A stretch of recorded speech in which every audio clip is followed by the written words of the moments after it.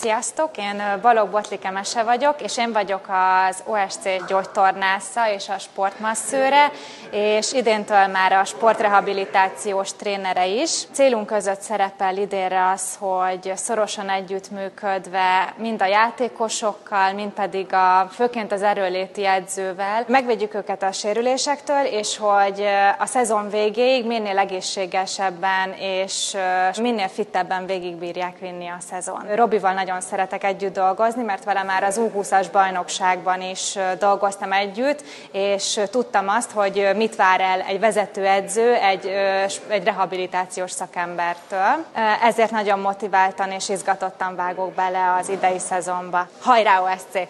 Mesivel már régebb óta együtt dolgozunk. Én azt gondolom, hogy Mesi a csapattal együtt fejlődik folyamatosan, és amellett, hogy egy elragadó személyiség, nagyon szorgalmas és nagyon céltudatos is, és azt gondolom, hogy a mi csapatunk stábjába ilyen személyek kellenek. Saját magát képzi folyamatosan, és igyekszik megfelelni annak a kritériumnak, hogy a mai sportban a rehabilitáció mennyire fontos, és hogy mennyire egy változó tudomány, és ő ezeket a lépéseket folyamatosan követi.